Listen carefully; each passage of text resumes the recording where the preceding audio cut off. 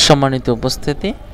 আসসালামু আলাইকুম রহমতুল্লাহ বরকাত আজকে আমি আপনাদের সামনে খুব গুরুত্বপূর্ণ একটি আলোচনা নিয়ে উপস্থিত হয়েছি।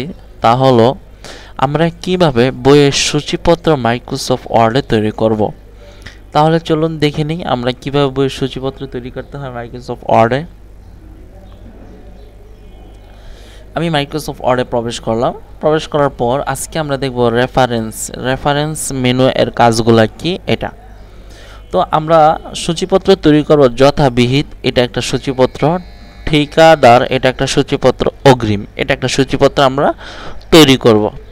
তাহলে সূচিপত্র তৈরি করতে হলে আমাদের প্রথমে যা করতে হবে, আমরা প্রথমে লেখাটা সিলেক্ট করব, যেটা সূচিপত্র তৈরি করব সিলেক্ট করার পর হোমে যাব। হোম থেকে আমরা এটা একটা হেডিং করে নিব, এই যে হেডিং এটা এখন ইংলিশ হয়ে গিয়েছে, যেহেতু আমি বাংলা করব, তাহলে আমি এখান থেকে গিয়ে বাংলা করে দিই। বাংলা করে দিলাম।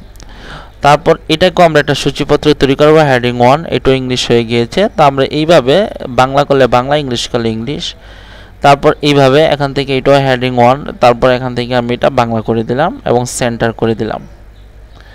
এবার নিলাম, আমি যে পাশে রাখতে চাই, ডানে বামে উপরে যেখানে রাখতে চাই, আমি রেখে দেব। তারপর আমার উপরে যদি খালি জায়গা না থাকে, আমরা ইন্টার দিয়ে খালি করে নেব। তো আমি খালি করে নিলাম খালি করে নেওয়ার পর আমরা যাব রেফারেন্স রেফারেন্স মেনুতে যাওয়ার পর আমাদের প্রথম যে টেবল অফ কন্টেন্ট এখানে ক্লিক করব। ক্লিক করার পর আপনার এখানে কিছু ই দেখাবে এক ফর্মুলা দেখাবে, আমরা প্রথমটাই অনুসরণ করলাম, দেখেন। আপনার কোনটা কত নাম্বার পেজে আছে, এটা কিন্তু অটোমেটিক এখানে দিয়ে দিয়েছে, এই যে। যথাবিহিত ঠিকাদার অগ্রিম, এটা এক নম্বর পেজ আছে, ঠিকাদার এক নম্বর পেজ আছে, অগ্রিম, এটা এক নম্বর পেজ আছে। সূচিপত্র তৈরি হয়ে গিয়েছে। এইভাবে আমরা এটাকে কপি করে নিই। আরও মনে করেন আমরা এখানে কি করব? এখন আমরা দেখব আপডেটটার কাজ কি। আমরা এটাকে কপি করে নিচে নিচে আমরা আরও কিছু পেস্ট করে নিই।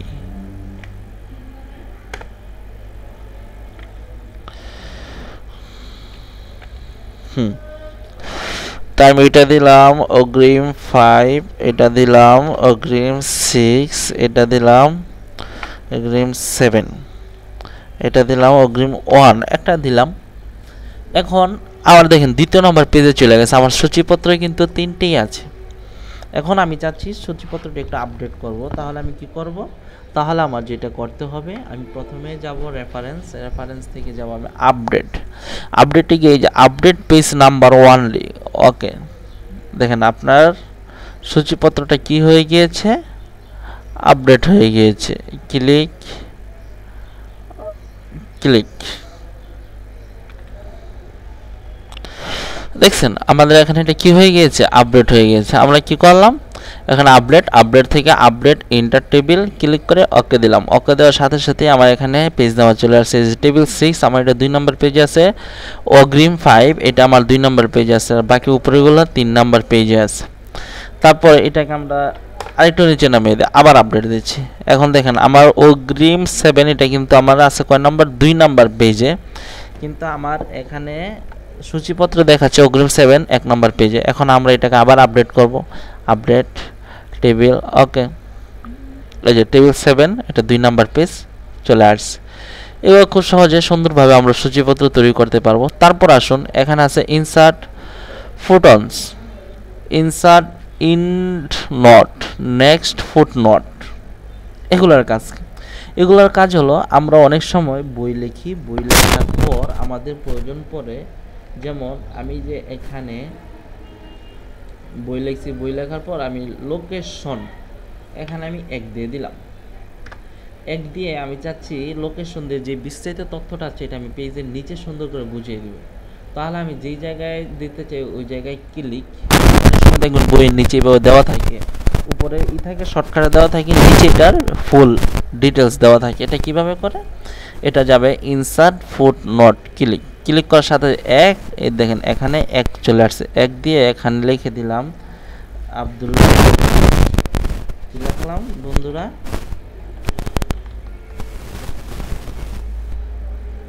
এক দিয়ে লিখে দিলাম এখানে আমি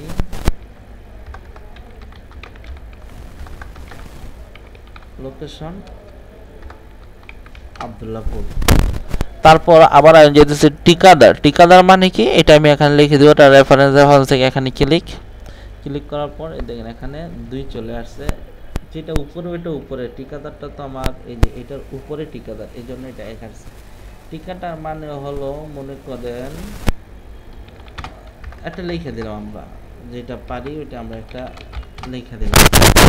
এইবার আমরা বইয়ের নিচে যদি আমাদের বিস্তারিত ফুল এটা দেওয়ার প্রয়োজন পড়ে তখন আমরা এইভাবে এটা সুন্দর করে দিয়ে দিতে পারব। তারপর আপনি এখানে যাবেন ইনসার্ট ইন্ড নট এটা হলো ইনসার্ট ফুট নট এটা হলো একদম পেজের শেষে হবে।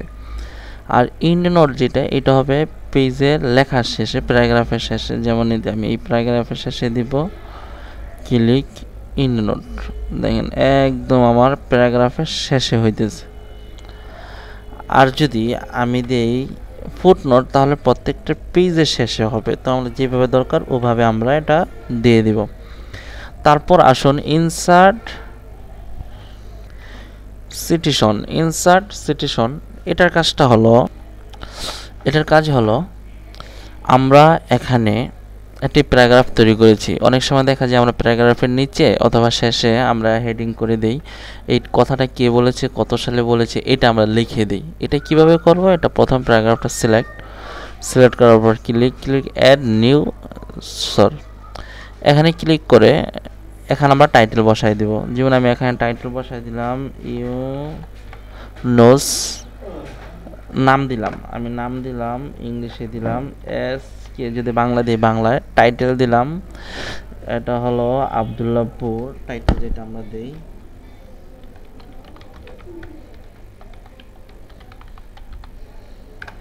আবদুল্লাপুর তারপর কত সালে বলছে? দুই হাজার উনিশ সালে বলছে। সিটি কোন সিটি থেকে বলছে?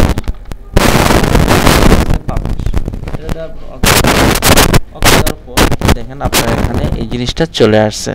সে কত সালে বলছে, কি কথাটা বলছে, এই কথাটা চলে আসছে। সিলেক্ট না করে আমরা শেষে ক্লিক করে নেব। শেষে ক্লিক তারপরে এখানে ক্লিক এই যে, চলে আসছে। সে এই কথাগুলো দুই হাজার উনিশ সালে বলছে। এবার প্রত্যেকটা শেষে যদি টাইটেল যোগ করে দিতে চাই, কে বলল, কি বলল, এটা। তারপর এখানে আসুন, এখানে ক্লিক করার পর আপনি এখানে দেখতে পারবেন এস কে আবদুল্লাহ যে উনিশ সালে বলছে, এখান থেকে এটা কপি করতে পারবেন ডিলিট করতে পারবেন এডিট করতে পারবেন। এডিট করে যদি আপনি পরিবর্তন করে দেন, পরিবর্তন করে দিতে পারবেন। তারপর এখানে আছে স্টাইল এখান থেকে আপনি যে নামটা দিবেন, এটা কি স্টাইলে দিবেন? এই জিনিসটা এই যে এখান থেকে আপনি স্টাইল চেঞ্জ করে দিবেন। এইভাবে যদি আমাদের লেখার শেষে, প্যারাগ্রাফের শেষে আমরা টাইটেল দিই এখানে একটা আমরা টাইটেল দিব, কীভাবে দিব? এখানে ক্লিক ক্লিক ক্লিক করার পর এখানে আমরা লিখে দিলাম অয় টাইটেল ইয়ার সিটি লেখার পর ওকে এই যে চলে আসছে। আর লোকেশনগুলো সব কিছু এখানে সুন্দরভাবে চলে আসছে। তো আমরা কি বুঝতে পারলাম? এখান থেকে গিয়ে আমাদের যে কাজটি করতে হবে সেটি হলো আমরা কীভাবে প্যারাগ্রাফের শেষে আমরা টাইটেল যোগ করে দিব, কে বলল, কবে বলল, কত সালে বলল, এই জিনিসগুলো আমরা এখান থেকে গিয়ে যোগ করে দিব। প্রথম আমরা এখানে ক্লিক করব, তারপর এখান থেকে গিয়ে আমরা অ্যাড নিউ আর যদি আগেরগুলো দিতে চাই, আগেরগুলো এখানে থাকবে অ্যাড নিউ তারপর এখান থেকে গিয়ে আমি এটা যাচাই করে দেখতে পারব সে কত সালে বলছে, যে দুইটা আছে, এখানে দুইটা। ডিলেট করে দেয় ডিলেট তারপরে এখান থেকে গিয়ে আমরা স্টাইল এখানে দিয়ে দিব।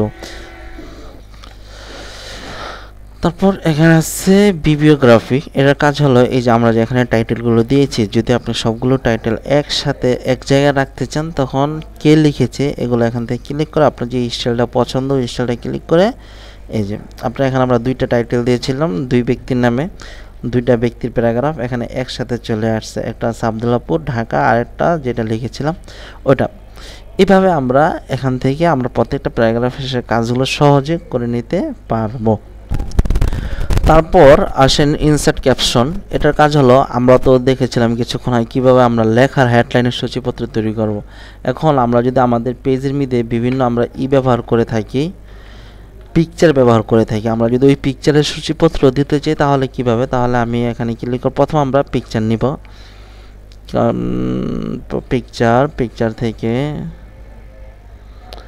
এখান থেকে আমরা কিছু পিকচার নিয়ে নিলাম। পিকচার এখান থেকে যে পিকচারগুলো আমার দরকার, ওই পিকচারগুলো আমি এখান থেকে নিয়ে নিলাম। এখান থেকে একটা, দুইটা, তিনটা, আমি দুটা পিকচারে নিলাম। এই যে আমার এখানে দুইটা পিকচার চলে আসলো। এখন আমি এই পিকচারগুলো ছোট করে করে আমি বসাই দেবো। যেখানে আমি বসাইতে চাই, ওই জায়গার মধ্যে আমি সুন্দর করে বসাই দিলাম। এটাকে ছোট করে কোথায় গেল মনে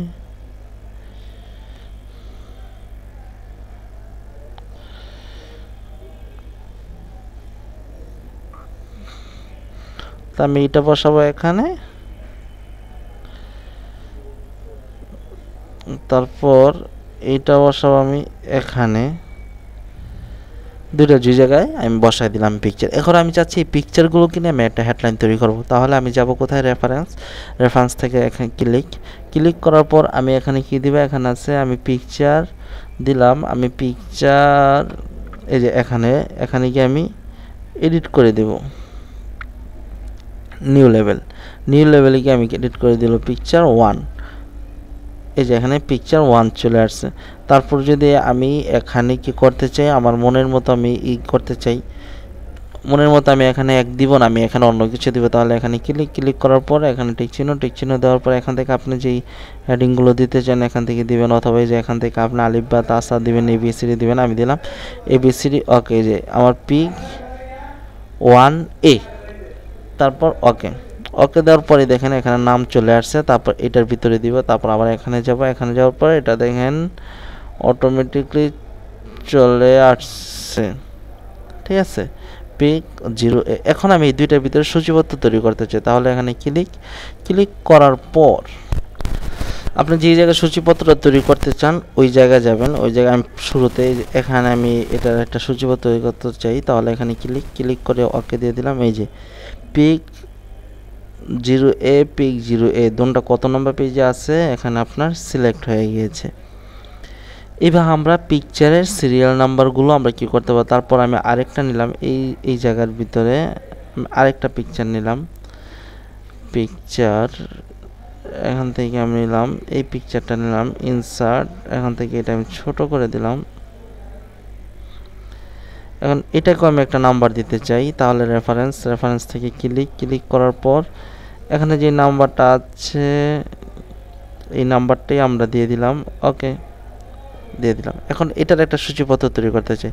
তখন আমি এখানে গিয়ে শুধু আমি আপডেট করে দিব সূচিপত্রটাকে আমি আপডেট টেবিল এখানে আপডেট টেবিল দিলেই এই যে আরেকটা আমার যোগ হয়ে গিয়েছে। এটা কত নম্বর পেজে আছে? এত নম্বর পেজে আছে। এইভাবে আমরা প্রতিটা পিকচারের সূচিপত্র আমরা তৈরি করে দিতে পারব। এই হলো বন্ধুরা রেফারেন্স মেনুয়ের কাজগুলো। আমরা প্রত্যেকটা জিনিস খুব ভালো করে দেখলাম। কীভাবে আমরা বইয়ের সূচিপত্র তৈরি করব এই জায়গা থেকে। তারপর আমরা প্রত্যেকটা প্যারাগ্রাফ অথবা আমাদের পেজের নিচে কীভাবে আমরা লোকেশনগুলো দিয়ে দিব এটা। তারপর আমরা এখান থেকে দেখলাম একটা প্যারাগ্রাফ কে লিখেছে, কত সালে লিখেছে। যদি আমরা এই টাইটেলগুলো আমরা এখানে দিয়ে দিতে চাই, তাহলে এখান থেকে দিয়ে দিব। তারপর এখান থেকে আমরা দেখলাম ক্যাপশন, এখান থেকে আমরা প্রতিটা পিকচারের সূচিপত্র কীভাবে তৈরি করব, এই জিনিসগুলো।